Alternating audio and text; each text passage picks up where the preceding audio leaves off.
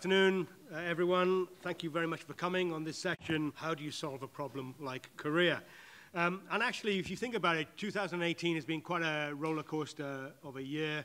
Just February was when Donald Trump was actually threatening to uh, drop a nuclear missile on North Korea. And six months later, denuclearization was apparently uh, carried through. And if, we're, if we believe what we read, uh, only uh, a couple of days ago, a couple of weeks ago, uh, Kim Jong un and Donald Trump were almost going to receive a Nobel Peace Prize. So, you know, from the sublime to the ridiculous, or vice versa, depending on your point of view, the question is, is you know, is Donald Trump a genius with a very, very large brain for resolving global conflict, something that hasn't been resolved for a long time? Uh, are there other forces pushing this uh, conversation, the geopolitics uh, that we can talk about? Is North Korea a power broker or a pawn in this conversation? So there are, I'm sure, experts in the audience, and I'm sure there's people who just want to find stuff out. So it's got, a, it's got something for everyone, hopefully, this, this conversation. Women hold up all the sky on, on our panel. This is a gender balance gone crazy, and that's what um, North Korea can do for you. Uh, so it's a fantastic panel, and I'll just introduce them for you in, in not in the order we'll speak, because we're just going to have a conversation and bring you in uh, towards uh, the tail end of each particular section. First of all, we have Dr. Catherine Jones, lecturer at University of St. Andrews. She's the author of China's Challenge to Liberal Norms, and her recent research, funded by the Korea Foundation, explores China's relationship with North Korea. Next, uh, in the middle there, we have uh, Jayun Baek. Am I right?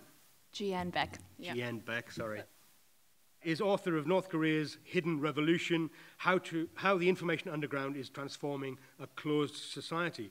Previously, she was research fellow at Harvard University and worked at the Google headquarters for several years and is currently a doctoral candidate in public policy at the University of Oxford. And then finally, at the very end, we have Mary Dejevsky, who's been a foreign correspondent in Moscow, Paris, and Washington, and a special correspondent in China, a writer and broadcaster who predominantly at the moment writes for The Independent and The Guardian, yes? Uh, good. My, I'm Austin Williams. I, I, kind of know a little bit about China, and Korea has always been a fascination for me, so I'm going to learn something as we go along. As I say, we're going to do this conversation in two chunks, hopefully. Uh, we'll see how it goes. First of all, it's like on a historical context. Um, and I think, and anybody who watched the Michael Palin documentary, he kind of sim similarly said it himself. The general perception is that, you know, there's 1948 independence, two years later, North Korea invades South Korea, right? Uh, and that's the way that we, we see it. But does anybody want to just pick up, maybe Jieun wants to pick up on why it was divided in the first place? Because that might give us some context about even that, that uh, war that was launched back in the 50s. Do you want to give us some background history? Sure, um, Korean history in a minute. So um, the two Koreas shares a very, very long history, um, warring kingdoms, and you know, shared culture, shared language, and all of this. They're under Japanese colonial, um, they're colonized by the Japanese in early 1900s, and uh, gained independence um, at the end of World War II, the, the two Koreas. So Soviets want control over the north, or basically the, there's negotiations between um, a lot of the uh, major powers, and the countries, the whole peninsula is divided by two. Um, so, uh, communist um, influenced north, and U.S. and UN backed south. Um, 30th parallel is what divides the Koreas. It's pretty a very arbitrary division, and um, so a very uh, a country of a very long shared history is divided into two. And um, then the Korean War breaks out. The North invades the South. And three years later, and after millions of deaths, nothing really changed. The two Koreas are currently still at war, um, technically, as most people will um, know. And that's where we are today. There's obviously a lot more to cover, but that's sort of how the countries have been divided. And so there is a shared language and a culture. Um, obviously, they've diverged tremendously uh, since 19, you know, since the 1950s, but that's where we are today. Yeah. So I mean, uh, the other speakers can fill in. Like I say, it's a conversation, but does that mean it was a legitimate invasion by North Korea into South Korea? Again, you don't necessarily have to answer this. Oh, this isn't just on you. Sure, sure. And yeah, I'll, I'll uh, start off by saying it depends on whose perspective you are um, taking to answer that question. The North will obviously say it was a legitimate invasion to try to reunify the peninsula by force. Um, the country is being divided by outside powers um, very unfairly. Um, the US and, and others will say absolutely not. It was not a legitimate invasion. Um, South Koreans, I mean, I don't want, it's not a monolithic population, especially over history, but they will generally say it was not a legitimate invasion either. So it just really depends on who you say. By the way, just North Korean history does um, say that it was not the North that invaded, but the U.S. back South that invaded. So the Korea's, um, the Korean history of the war um, is is taught and uh, be, uh, believed in a very different way between the two Koreas. Okay, Catherine.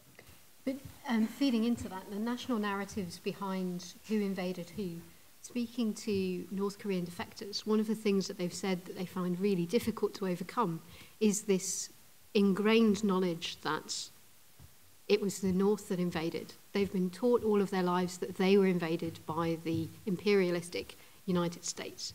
And even when they've been living in South Korea or the West for a very long time, they say this is one of the things that they find extremely difficult to overcome.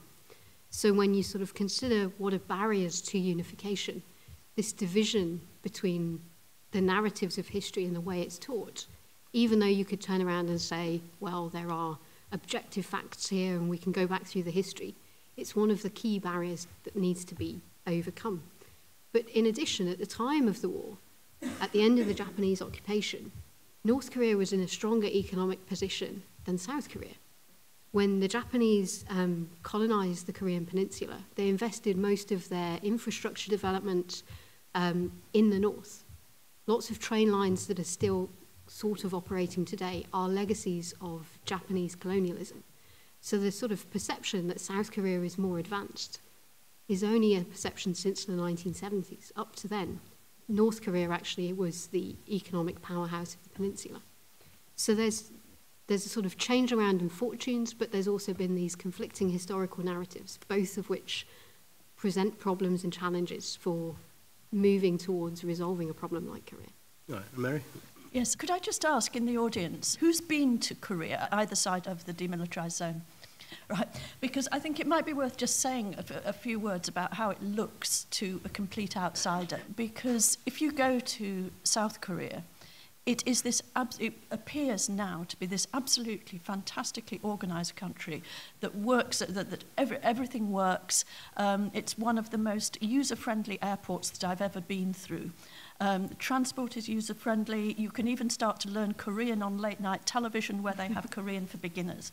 Um, there's it's sort of second only to Japan in that you feel that you're not really abroad because you're in a first world country, but then there's this whole sort of layer of being alien. And then you go and they, you can go in a tour bus to the demilitarized zone. And when you go to the, to the D, DMZ, it's a very, very peculiar feeling because certainly for me, the sense was not of nothing like, um, say, Checkpoint Charlie or the Berlin Wall during at the height of the Cold War. There seemed to be nothing like that sense of absolutely hair trigger risk. Um, it was it was sort of calm and a bit sort of park like um, and they have this um, it, inside the buildings, um, it's, it's like frozen in um, a time, a time of the sort of early 1950s, even sort of Second World War time. Very formal, very empty, and quite sort of uh, just a, a bit sort of ancient and old-fashioned. But one of the things that makes you think is that when you go in, you have to see every everybody who goes to visit the DMZ is given a piece of paper where they have to basically sign their life away and say that if anything, hap- if anything happens, um, then they don't hold any responsibility, they don't hold the authorities responsible. And you sign this, and then when you come out, you're given it back as your souvenir of um, what a sort of dangerous place you've, you, have you have been to. Now, having said all that, um, when you're, when you're about five weeks after I was there, and this is sort of five, six years ago, there was actually an incident um, with a North Korean soldier trying to cross the line, um, and he was shot. Um, so the, the, the sort of impression of it being peaceful and calm is slightly deceptive. The other thing is that, and I've not been into North Korea proper, that when you look, one of the things that they point out to you as you approach the um, demilitarized zone is that you see the bare hills in the distance. And the line from South Korea is that the hills are bare because during famine in the north, people were cutting down trees and they were eating, they, they were eating tree bark and, and, and, and tree roots, and that's all they had to, to, to live on. So you've got this sort of visual impression um, of the, the very stark difference that there is now between the north and the south. I mean, I would say it's probably one of the, one of the sharpest contrasts that there may be almost anywhere in the world between um, two countries which share a border. Okay, look, uh, I, I'm glad you introduced that because I think it's worthwhile maybe somebody picking up on as well the idea that the perception that we that many people have of China you know, reminds us of Antonioni's film in the 1970s, you know, of, of uh, people scrabbling around agriculturally, whereas in fact China is a very modern society. Same question of, of North Korea. People's perception of North Korea is famine, 1990s famine. Is, that's 20 years ago, 25 years ago. So you know, has thing, have things changed? How have they changed in terms of development? And the second question, I suppose, is coming from your book, uh, Jieun, is the, um, my reading of your book, I, I, got a sense that there was a much more porous border. Uh, that the idea of you know running across the border, being shot late at night, is between North Korea and China. Sorry, uh, North Korea, Korea, China Korea, yeah, North Korea, North Korea and China. And that idea that you know you'd be shot, there was much more of this kind of if you do a bribe, if you've got enough goods to come in, trade was being done. Uh, social media connections with the outside world is much more prevalent. So, you know, how, how have things actually changed on the ground in terms of North Korea and its relationship to China and also to the West? Uh, sure, I'll, I'll kick off and um, toss it to Dr. Jones after. So, um, so my book is about mainly about how foreign information has been uh, smuggled and otherwise uh, illicitly being pushed into North Korea through a variety of means over the past two, three decades, and some of the small social changes that has that the consumption of foreign information uh, by North Korean citizens has been sparking inside North Korea. Um, so that gives some context. And uh, in terms of the porous border, so prior to the famine, so just for those who may not know, North Korea was hit by a very, very uh, devastating famine in the 1990s, and it estimated 800,000 to about 2.5 million people. So roughly 10% of the population um, died due to starvation and the effects of starvation. So there was just a lot of chaos that um, took place during that decade. Um, that's also when the first leader, Kim Il sung, died. And so there was just a lot of um, changes in the country taking place. So prior to then, there, uh, the border between North Korea and China, um, it was never officially, not, not never, but it wasn't uh, officially a free border by any means, but there was less um, stringent security at the border. They share about like a 1,500 kilometer border, more or less. And so a lot of some people were starving. They would go into China with the intent to buy some food, make some money, come back to North Korea to support their family members. Some of them, um, this is also the period when we saw the first major spike of North Koreans um, attempting to escape China uh, for mainly, uh, mainly economic reasons, but some political as well. Um, the border has been in, like significantly tightened since then. So right now, it's effectively not a porous border at all. There's a lot of um, legal and illegal trade taking place across the border, uh, but this is just people um, not doing this really with the government's explicit permission. So, so yeah. So right now, it's just effectively totally clamped down. In terms of people defecting by, um, by bribing border guards, so defection from North Korea is punishable by death, not only of the person who is caught, if they are caught, but um, punishing, uh, but also uh, it comes at the huge risk of one's family. This has been um, this punishment of association, this uh, punishing three generations of one's family, um, is not always carried out for defections, but has often been the case um, for, the, for, for many decades. And so defection really does come at very, very serious risk. So uh, border guards are often bribed. Um, under, since Kim Jong un, the current leader, came into power in late 2011, um, South Korea, so the number one um, country of resettlement for North Korean defectors, they have seen a sharp decline of defectors coming into South Korea. There's many reasons that could be the case, um, but one major reason that is being uh, attributed to this decrease of defectors coming into South Korea is this extreme, this like very extreme reinforcement of punishment of defectors or attempted um, de- uh, people who attempt to defect and their families inside North Korea. Um, just to clarify something about social media, so there is no social media as we know it Facebook, Twitter, um, uh, WeChat, or whatever else inside North Korea that's connecting people outside. There's a lot, so a lot of North Korean defectors, not all, um, but many, um, engage in social media, of course, amongst themselves and their friends outside of North Korea, but there's no technical um, social media that connects North Korean citizens with people outside.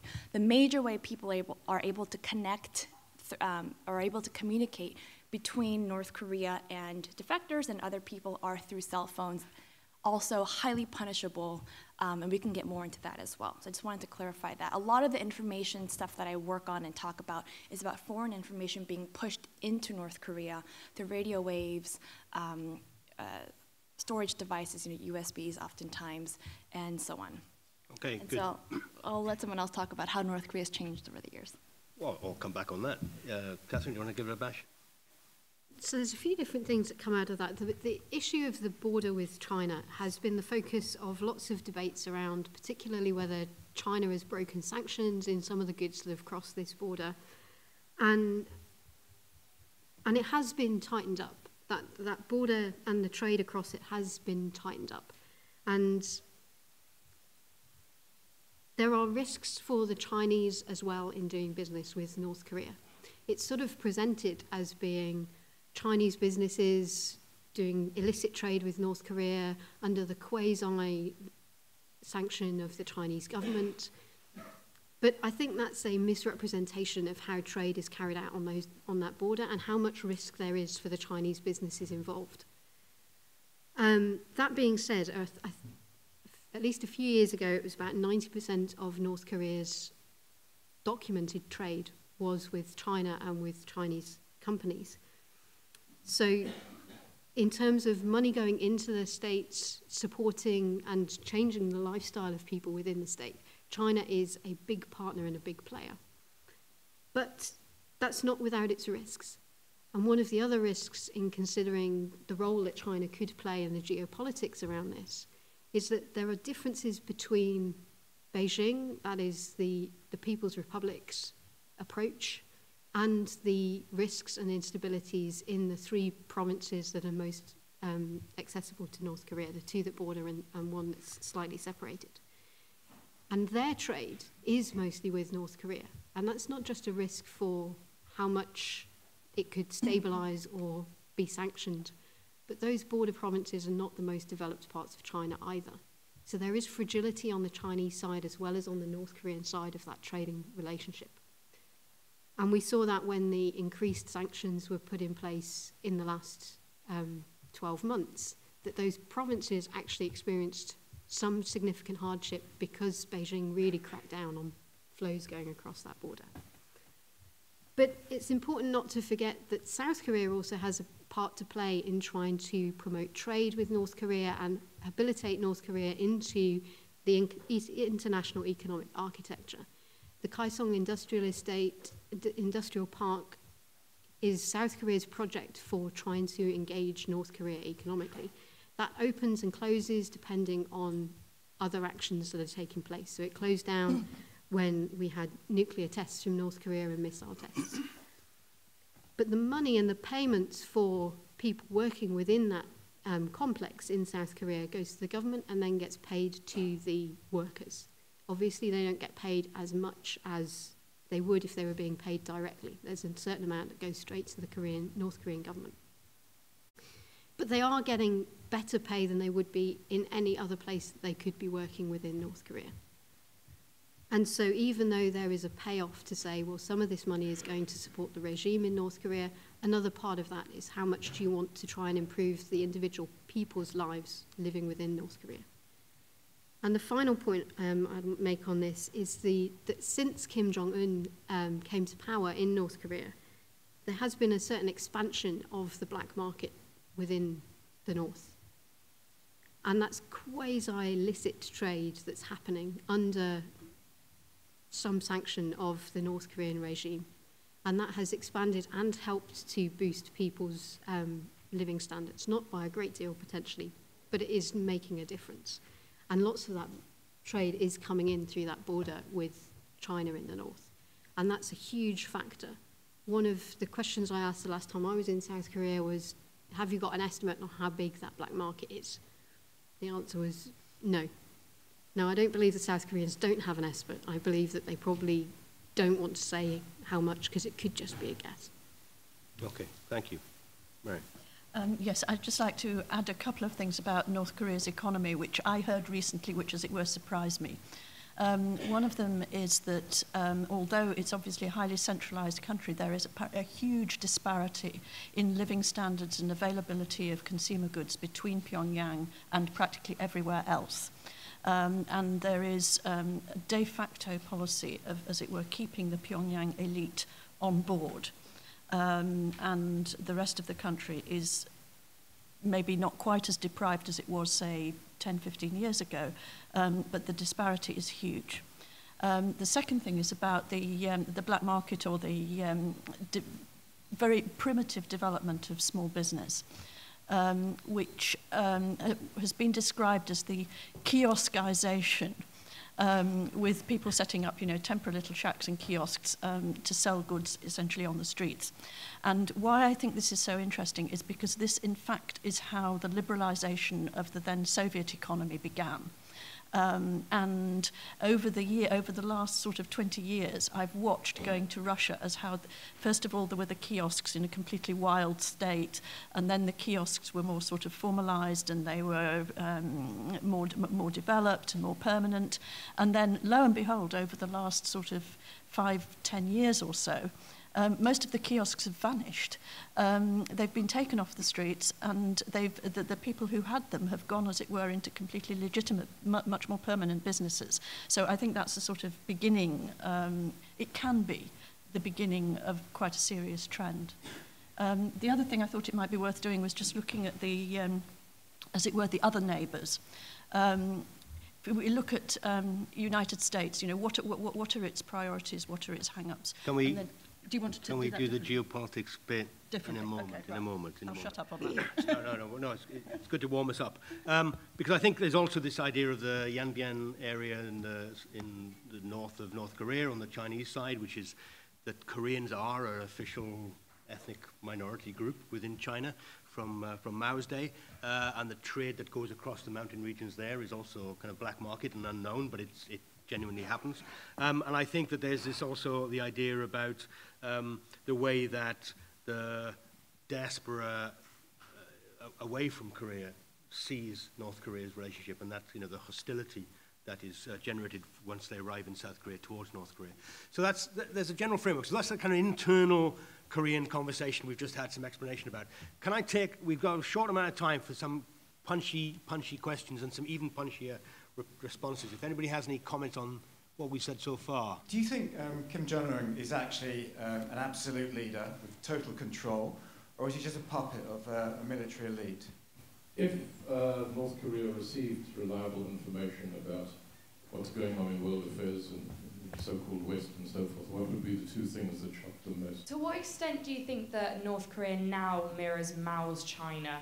Because they both have they both had um, a similar case of famine. They both had the um, like extreme communism and dictatorial rule. So, to what extent can that parallel be drawn? Will North Korea survive?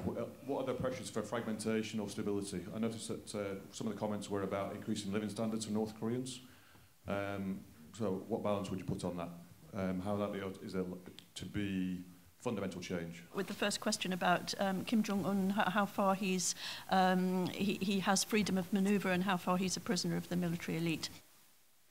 My view is that um, when he first came to office, he was really quite constrained and he was looking over his shoulder a lot of the time um, and he had to be very careful. And then there were various things that happened, including, I think, the execution of his uncle and um, various pieces of rather unsavory evidence that he was trying to consolidate his power.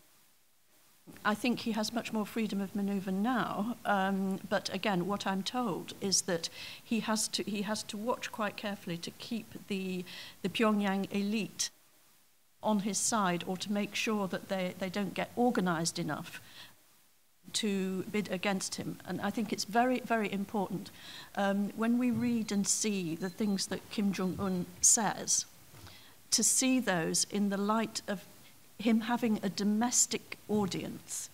Um, because there's a general assumption, I see it so often with Russia, but also with China, that people say, oh, well, you know, that they're in, the leaders are in complete control, that they don't have a public opinion.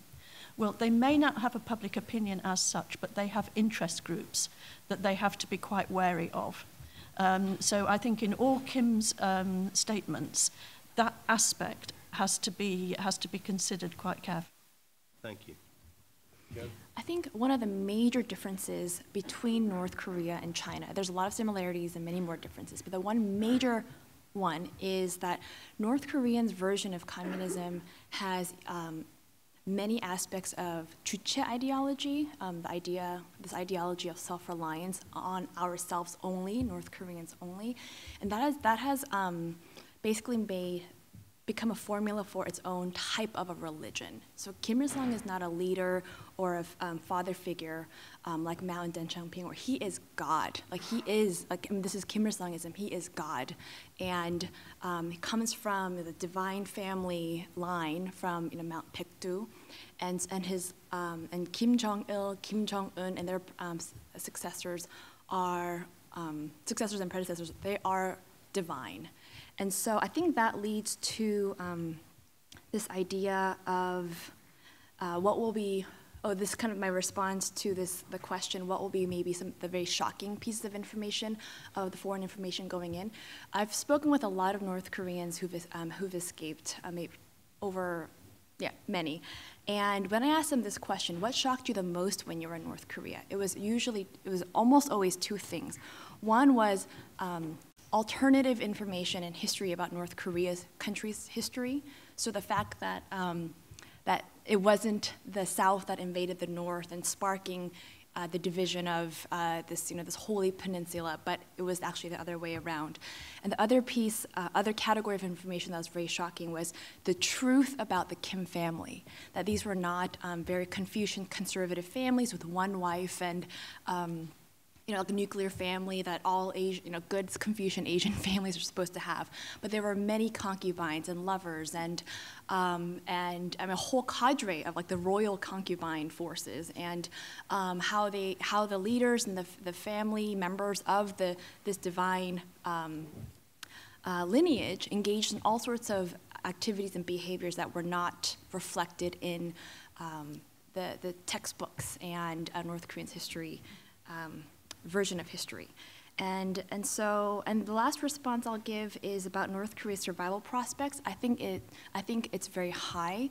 I think Kim Jong un, now that he has a lot more room for maneuvering and has established himself as a very brutal uh, person, uh, brutal, not person, a leader, is that he will, I think he will continue to engage in not liberalization, but this kind of um, under the guise of incremental liberalization, that he is uh, like this cheery leader. Um, he's not going to be as br brittle as the former leaders were. Um, he, you know, he's shown in state media wearing like, like white T-shirts um, and kind of hugging children and laughing and smoking with his uh, colleagues. Images that were never ever possible to be viewed on North Korean media. But this is some of the official images that he's showing. Um, and that's just one tactic that I think he's engaging to try to recreate his image internationally and also for his domestic audience, um, and engaging in all sorts of other policies to try to um, ensure the survival of his regime. And um, I think Kim Jong un's intelligence is absolutely not to be underestimated. Thanks a lot. yeah. So I'll just link to a couple of the survival of North Korea, um, I also think it's likely to survive. I think it's likely to survive partly from two things, one of which goes back to Mary's point about the importance of the black market. At the moment, I think the black market is helping to stabilize internally within North Korea because people are being able to get access to things. And I think that means that the internal collapse narrative is less likely because of that. At the same point, if the black market becomes much bigger, I think that becomes a source of information from the outside world, and I think that becomes a threat to the regime. So there is a sort of fine balance and a tipping point to be played out with that. And I think there's also something to reflect on, and this is going to link to our, our next chunk of discussion, which is how much do the wider players want North Korea to survive? They may not want it to survive in its current formulation, but they certainly don't want to see a collapse on the Korean Peninsula. It would be um, problematic for the global economy, it would be problematic for South Korea, it would be problematic for Japan, and certainly for China. Well, let me, can I, can I jump in on that question then, since you've now taken over chairing this? Uh, no, it's, because I think it's important that, do they want to see North Korea collapse? As you say, no, it's, it'd be problematic. Do they want to see reunification is a different question. Uh, might be the same answer.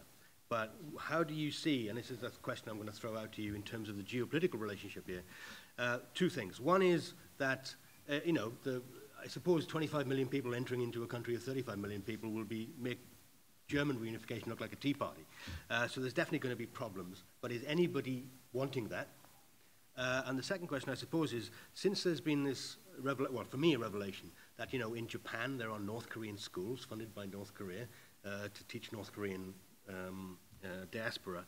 Um, and there's this kind of Singaporean relationship from the summit, but also Singapore has had long-term relationships with North Korea in terms of visa-free travel, that there is a slightly opening up here. Is it all about China and America, or is there other players willing and able to get in on this act? Two wide-ranging questions, so feel free to, don't ignore them, but feel free to pick on the parts I'll, that you most... I'll cede to the others on those, those two particular ones, except one, one slight comment um, which is, I think, with, um, with, with the two Germanys, there was um, very there, there, was knowledge on both sides, and there was um, quite a will on both sides towards unification. And I'm not sure the same thing exists between the two Koreas. And in particular, I'm not sure that, first of all, that the, the North maybe has less first-hand knowledge of how it really is in the South.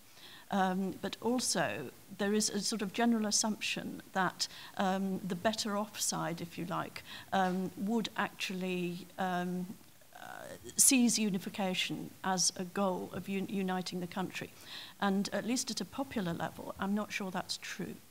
And I just draw one mini parallel, which is that um, quite recently there were archives that came out that said that um, Margaret Thatcher had asked her civil servants about the possibility of changing the border between Northern Ireland and the Irish Republic. Um, and said, well, maybe we got it wrong when the border was first demarcated. The idea was that Derry, London Derry, might be the wrong side of the border. And this was broached unofficially. And it wasn't the North that vetoed it, it was the South. And I think that always has to be borne in mind that if you're going to have reunification, it's got to be on both sides I think on unification's point, I think we have to start with the question, what would whose terms are we talking about? There's two major categories, or two major definitions or kind of visions of unification, and then there's various uh, permutations of each one. One is basically the South's version of unification, which is basically unifying the whole peninsula and all of the glorious Korean people under South Korean democratic capitalistic rule um, and continuing its strong alliance with the US and so forth. That is not North Korean's version of unification, which is to unify um, uh, the Korean people under Pyongyang's rule. And um, both countries' constitutions, since the states' um, separate inceptions of each country, um, ha they have in their own constitution that um, the whole peninsula is their own. So constitutionally, both countries recognize, they do not recognize the other side. Um, so, so I've seen a lot of surveys um, from South Korean, like various think tanks, and that um, there's like it's kind of by generation and um, gender and socioeconomic class and so on and so forth. But the major takeaway is um, to the question: Do you want unification as a Korean person? South Korean person with the North? And it's like an overwhelming yes, like 80 something percent yes. And then the next question is, um, do you want unification tomorrow? no. Because, you know, because of the, the, technicalities of unification, the costs of it, first of all, who's going to pay for it? The assumption is South Korea, but South Korea doesn't want to pay the trillions and, tr I mean, I've seen a lot of estimates for what unification would look like, and all the estimates are just basically trillions on trillions on trillions. Um, integrating people who have who really cannot be more different um, in, in terms of their views on each other, their history, and so forth. So this idea is unification seems like a really beautiful dream to, uh, to pursue, but probably not likely, and especially from a geopolitical perspective, I think most people want to manage North Korea and not want a unified peninsula. Um, that's what, yeah, that's what I'll, yeah, yep. that, that's for now. So linking to that, plans for reunification. South Korea does have a Ministry of, of Unification, and it comes up with plans and updates them on what unification would look like. These are not unproblematic plans. Yes, they are produced, but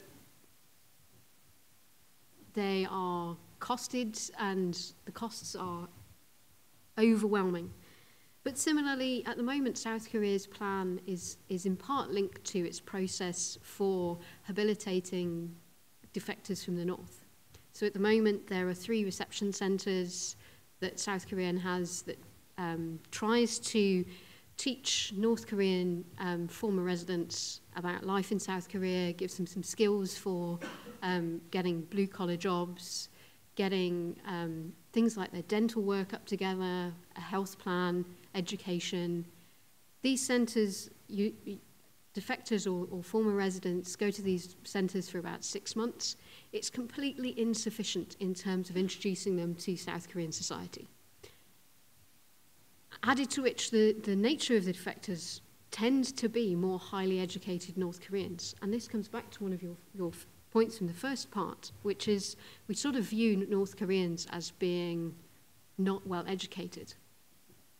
But that's also slightly a, a misrepresentation. Some of them can be highly educated and have engaged... Fully literate society. Yeah, and have engaged widely with um, um, other cultures and other societies. So I think we've got a misperception of exactly the, the types of people that would be engaged with on the South Korean side. Um, relating to that, in terms of who would pay for this, um, Japan hasn't really been mentioned in this conversation yet, but it is a hugely important player. Not only have we got issues of comfort women and other legacies of the Second World War and colonization from Japan that's still being worked through with South Korea and Japan, that faces, that presents major problems for these two supposedly related um, states that should be on the same page. Both of them are US allies That, le that legacy and that history presents an enormous problem for those two, on paper, natural allies to work cooperatively. When you throw on top of that North Korea, the um, kidnapping of Japanese citizens and taking, and taking them to North Korea, Japan is going to be a major player. But Japan also has other issues to deal with that are still legacies from the Second World War that have in part been suspended in anim animation in its relationship with North Korea. So there are lots of players that could be putting money into this, into this um, project who may not want to pay that money in. And I think that relates to, I mean, you could, as an academic, you could pull apart all of the different who wants to, who wants reunification from South Korea's general population and the government, provinces in China, the local population, and you would get a slightly different impression of who wants unification and the kind of unification they want. And the real problem is trying to pull together those into something that's actually workable. Yeah, but as an academic, you would say that, wouldn't you? Because yeah. it's like it's policy rather than politics. Uh, and it's a question as to, you know, a, a, nation divided, there's something integral that has now been uh, destroyed. And North Korea, in many ways, has been a pawn from the use by the, uh, by the Cold War in terms of its evasion in the 1940s and 50s.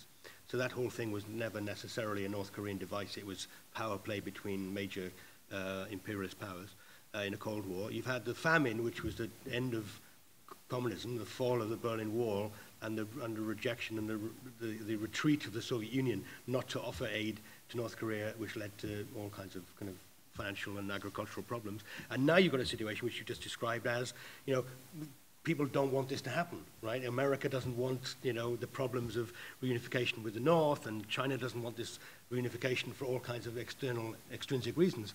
But where does kind of Korea fit in this conversation, this narrative? So I'm just more interested in, first of all, whether you think it would necessarily or possibly be a good idea that they re reunify.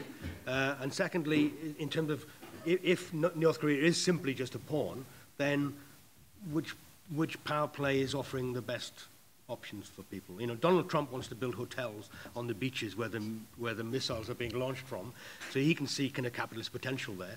But so can China. And is, is, what is North Korea going to be? You know, what, what's, the, what's the future for it? Um, well, I will jump in there and then hand yeah, it back to, to these two. I think I think there's there's a good division between short-term and long-term good ideas around North Korea. Um, I don't agree with its perception that it is a pawn. Um, it may have been back in the 1950s and the 1960s. I don't think it still is a pawn. One of the things that I hear from from from colleagues in China is North Korea is a bigger headache for the Chinese government than the South China Sea, and they just want the problem to go away. At the same time, it serves certain purposes for China. But the question is, could those purposes, for example, not having the US troops on the Chinese border if unification happened, could those purposes be served equally well by having a restructured North Korea? Um, so I, am not sure I agree that North Korea is still a pawn um, of the major powers. Um, and there are plenty of economic opportunities in North Korea. I heard uh, a few years ago that there's a lot of mining potential in North Korea mm-hmm. that is yet to be accessed because they just don't have the technology to be able to get those, those resources. So I think in the long term, certainly one of the fears on the peninsula is if you had a reunited North and South Korea, it would be a major economic powerhouse, but it would probably take 50 years to get to that status and there would be a lot of short term losses for South Korea in the process. But after that time period, you've got all of the industrial opportunities presented by adding an extra um, population to, to your, your banks. I think that creates another longer term fear for some of these players. Deng Xiaoping was 50 years ago, wasn't it? Yeah, I don't. I agree with uh, Dr. Jones. I don't think North Korea is a pawn. Uh, we haven't mentioned nuclear weapons today, which is kind of refreshing because every conversation about North Korea is about nuclear weapons. But um, with the development of it, and pretty much, uh, you know, Kim Jong Un has announced to his Central Committee earlier in um, April, like we're done. So there's this policy of um, Byungjin, kind of parallel development between their nuclear weapons and their economic development, like guns and butter. And he said, we're done with the nuclear piece. Um, like we're good, and so we can start start focusing on developing a lot of their domestic, um, uh, their economy. And so whether or not we're going to take his uh, words at face value, you know, that's you know, it's up to you. But I mean, in terms of what they've been able to uh, reveal about their capabilities through their six nuclear tests and many, many more missile uh, launches, it's pretty clear that they they have, like, they, they're they're nuclear capable. And so I think that combination, the nuclear piece in addition to um, their very, very strict um, uh, social control over its population, and we can, you know, we can talk about human rights and uh, the, the, really, really egregious human rights violations and so forth. I think that combination, um, and there's of course many other factors as well, reveal that they are the Kim Jong Un and his uh, colleagues know what they are doing, and they are in full control of not only um, their domestic situation, but with their uh, with with the world's leaders. And um, they, I, I'm of the opinion that he is really orchestrating a lot of um, the sort of very kind of unexpected uh, string of diplomatic uh, events that we've seen over the past six months or so. It's actually it's just it's remarkable. I mean, North Korea is 25 million people, South Korea is 15 million people.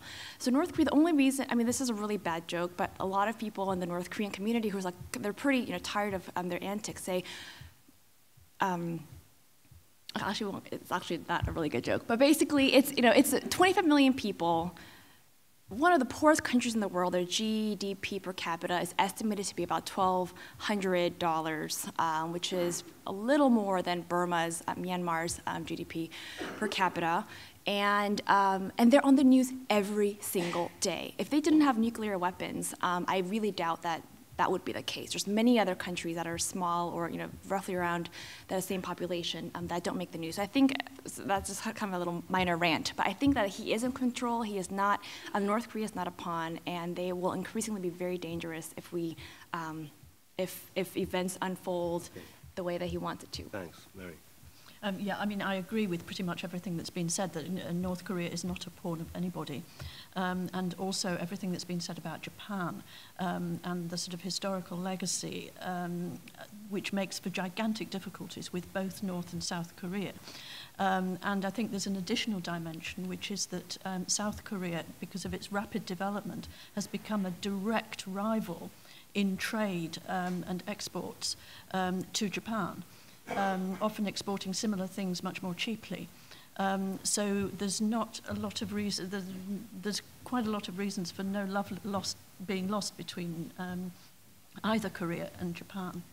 Um, I'd, I just maybe I'm going to be guilty of going on to an, another topic, but I think if you look at two other players in this, um, and the nuclear question was mentioned, um, I think that for the United States, which obviously is a player in this, security was the, really the only consideration.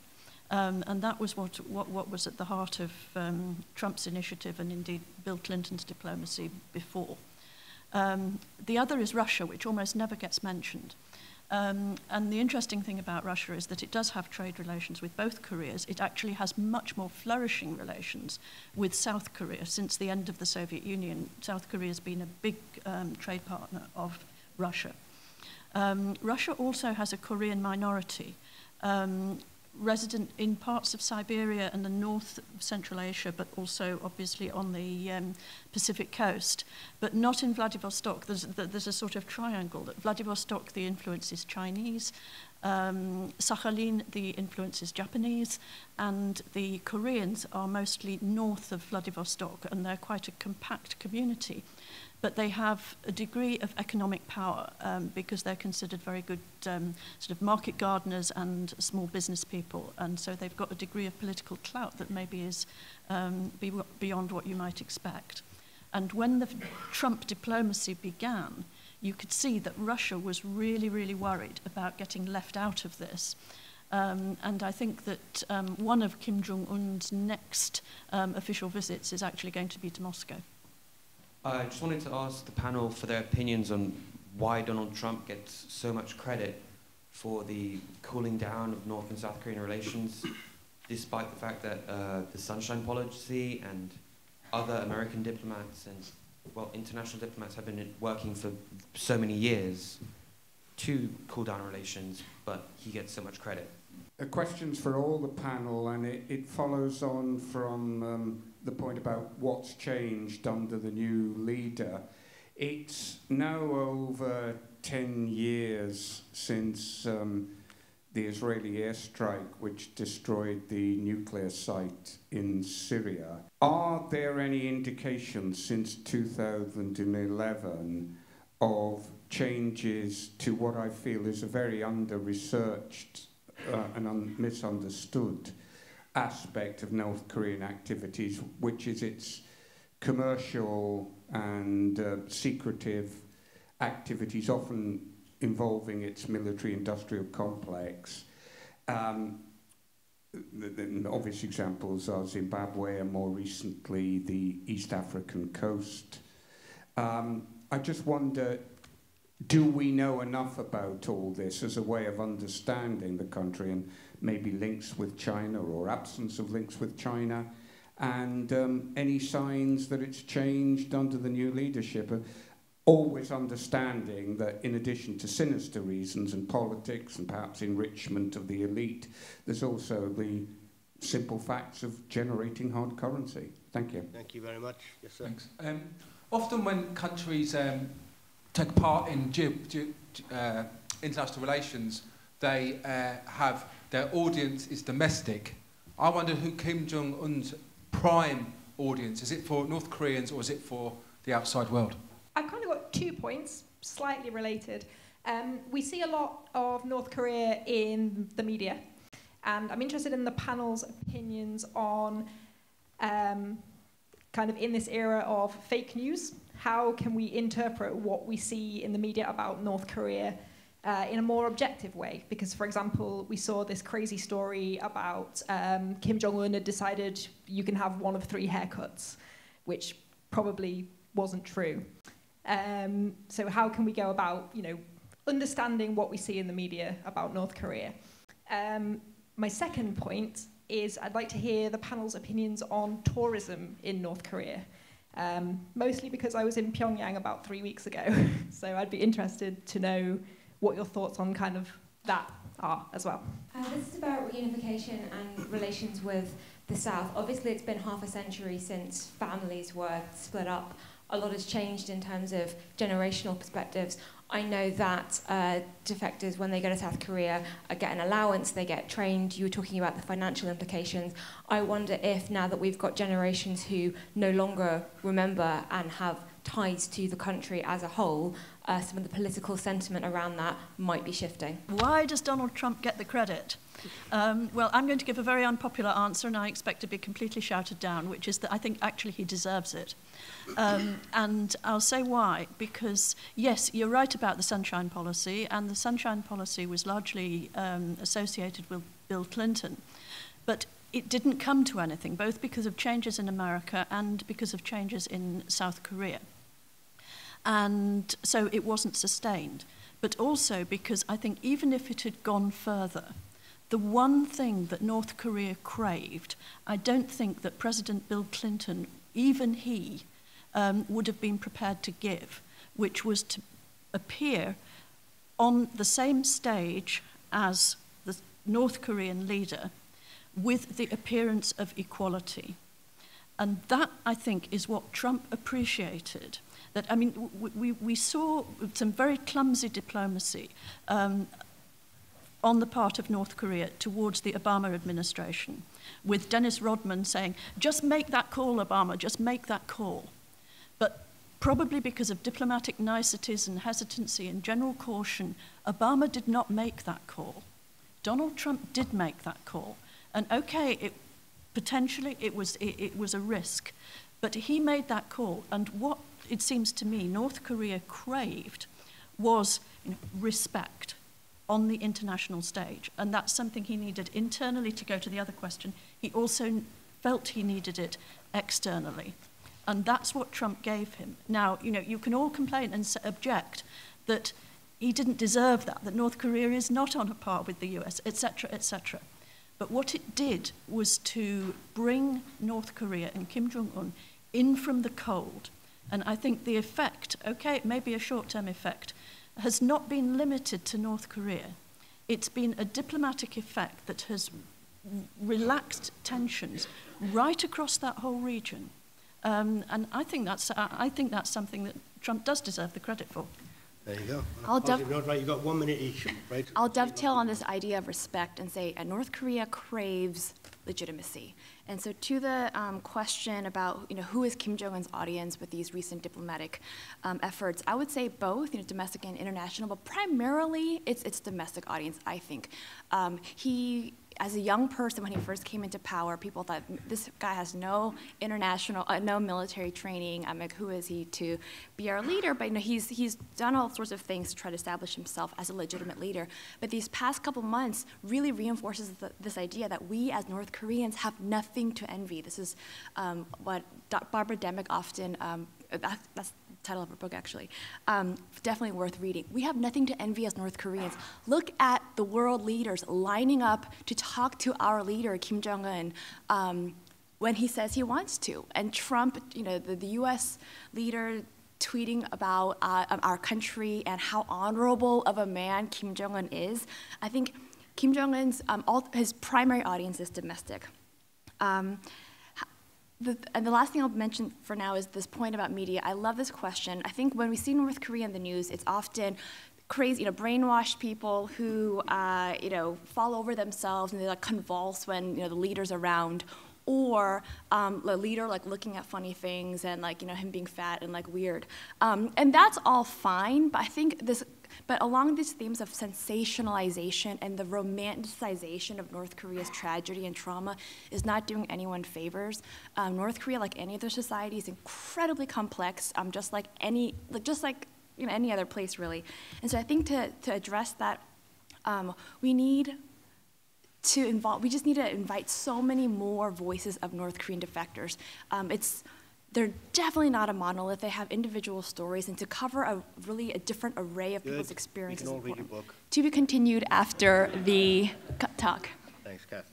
Uh, all right, I'll be as, as fast as I possibly can. Um, commercial activities. There was a fantastic book written by Andrea Berger that I think is entitled North Korea's Nuclear Customers.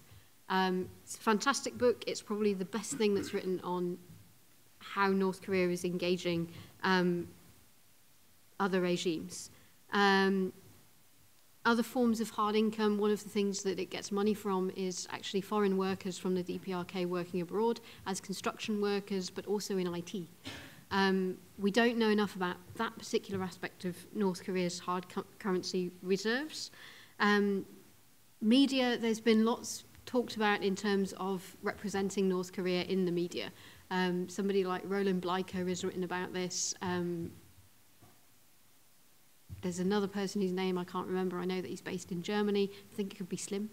Um, so there are lots of narratives about interpreting the images and other narratives of information that we get from North Korea.